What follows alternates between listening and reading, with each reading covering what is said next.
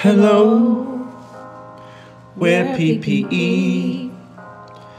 Put your oven mitts on and temp the meat correctly.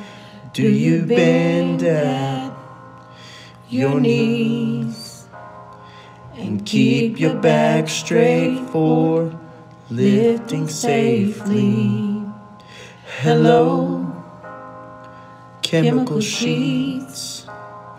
You need to use the SDS and HazCom training, knife safety and cut techniques.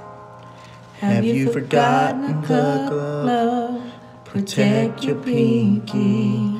Proper machine guarding protects us, saves a million lives. Hello from the safe side. I must have called hot behind to tell you I'm coming and warn you it's done. You respond with hurt and safe we go home. Hello from the safe side. At least we can say that we tried